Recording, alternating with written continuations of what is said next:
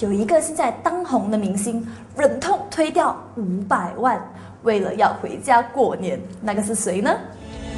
左手边是我的心，右手边没有谁。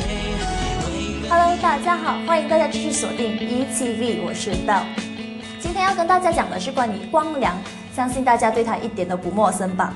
光良在这次的新年呢，忍痛推掉了五百万，不做，为了要回家跟妈妈过年，真的哦，五百万哦，因为这这次的新年嘛，然后光良就在 Canada 那边借到了两场秀，然后只到五百万哦。不过他就跟妈妈讨论了过后，觉得不要借吧，因为他已经很久没有回家跟妈妈过年了。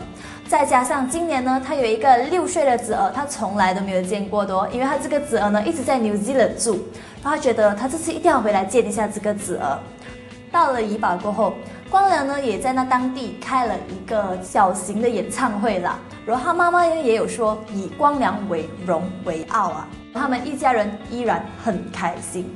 想要知道更多关于光良或者是其他明星吗？我们下期再见喽，拜拜。左手边是我的心，右手边没有谁。